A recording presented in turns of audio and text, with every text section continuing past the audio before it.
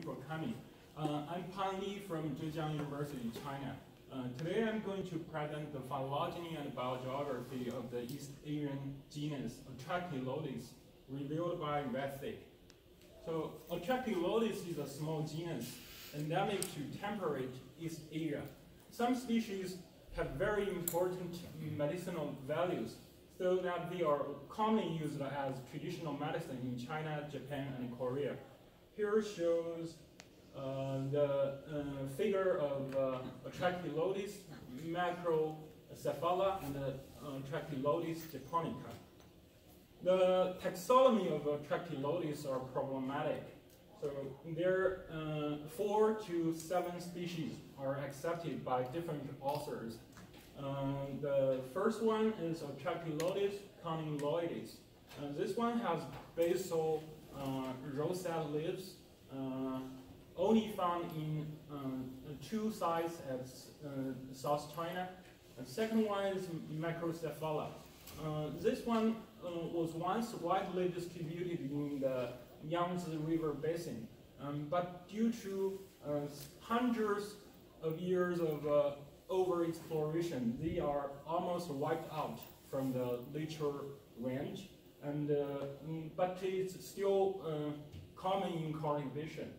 And the other five species are uh, mm, have have many problems. The the differences between the among them are mostly based on leaf morphology. So, uh, for example, the uh, ovata uh, has similar morphology and distribution with japonica. Um, so they are generally treated as a synonym of this species, but uh, the flora of Japan accepted it as a separate species. And for the uh, Lancea, this species, um, many authors think it is widely distributed from North China, North to South China. But someone think the northern population should be separated as species of Trachylodes chilensis.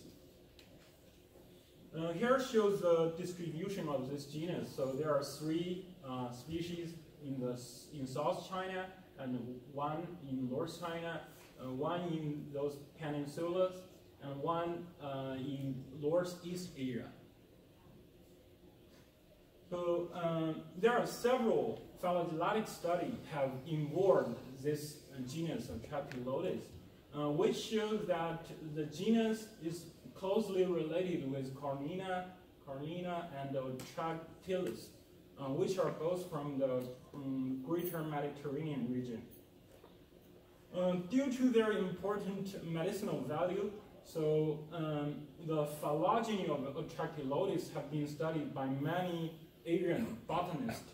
Here shows one of the newest study, uh, which shows that um, Atractylodes carnioides is the first divergent lineage, and then goes the Macrocephala.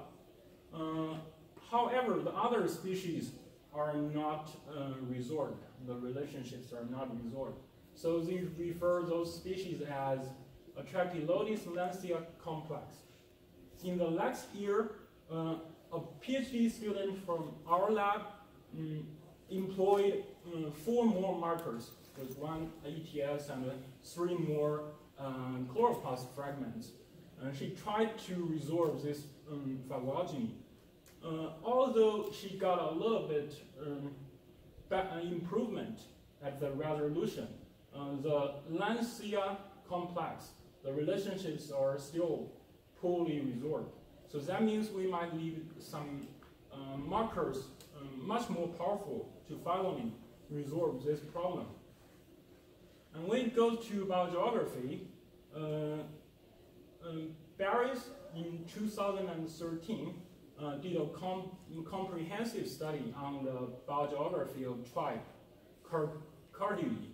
So we hypothesized an expansion routes uh, of the subtribe Carninilae, including uh, my genus Atractylodes. Uh, it's originated from Middle Asia and then uh, through the Mongolian plateau directly to Korean Peninsula and Japan. However, this uh, hypothesis was not totally convincing because they only sampled one taxa, the japonica, uh, in this in their study. So uh, because of the taxonomic, uh, phylogenetic, and biogeographic issues, so we used RADseq trying to resolve the phylogenetic relationship within this genus, especially within the Lancea complex. And we also try to investigate whether integration existed in uh, this complex and uh, uh, might it be uh, account for the uh, challenging taxonomy and phylogeny. We also try to infer how the ancestor of Atractylodes may have migrated to East Asia and diversified there. So uh, we sampled 78 individuals from uh, 37 populations, uh, so covering the whole uh, geographic range, representing all the seven species. Uh, for data handling, we use uh, ipyrad to deal with the, the, the RADseq data, and for phylogenetic analysis, we use RAXML, and also sequenced four uh, fragments of uh, six Atractylodes individual so that we can put them in the big matrix of Barres uh, for, for time estimation. Uh, and for time estimation, we're using this. Uh, so here goes the result. Uh, so I'm not going to talk about those numbers, but here, to, to see how the um, the size of the matrix will affect the phylogeny. So we uh, we set the minim, minimum sample per loci to 10 or 30 or 45. So that means uh, if a loci can be found in 10 individuals, so we keep that one. So when we set it to 10, we get the biggest data set. Uh, it includes uh, 171,000 of uh, SNPs. So also with high percentage of missing data. Uh, and then for D2 got smaller uh, data set, but fewer missing data. And for D3, we got only 2,000 uh, SNPs, but much fewer missing data. So we build we build a phylogenetic tree based on all those three uh, data sets.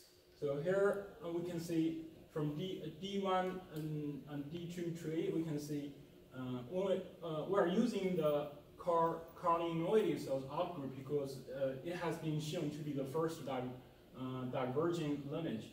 So the other uh, the other individuals are clear, clearly divided into five clades uh, corresponding to the species, the five species. there also a tendency that when the data sets got small, smaller, the clades shows lower support. And uh, you can also notice that D3, the phylogenetic backbone start to change. That means the topology start to collapse. You, you can see it more clearly from this. Uh, so the stars means there are full support, so 100%. So you've got almost, uh, you got a lot of stars and high support as the D1 tree. But uh, the stars get fewer, and uh, some got low, uh, very low support, and even the uh, phylogeny started to collapse.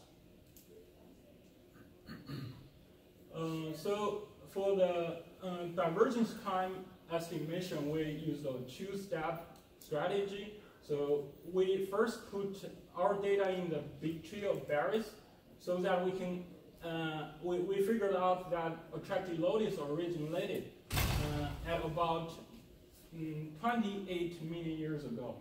And then it, it started to uh, diversify at uh, uh, 8.7 million years ago. Using this date as uh, um, calibration, we were able to, uh, to estimate the uh, orig origin and diversification time for all the clades within this genus. So basically, most of the species are uh, uh, origin uh, and uh, diversified uh, since Pliocene.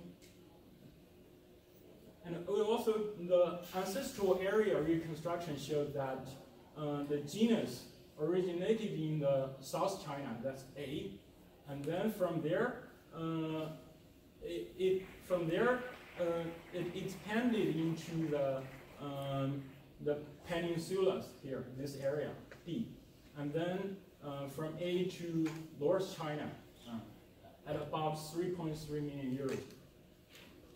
And then from the peninsulas, it expanded to the Japanese archipelago, and uh, eventually to northeast, uh, northeast area here.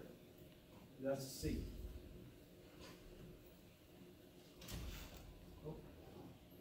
So uh, we also test for uh, integration.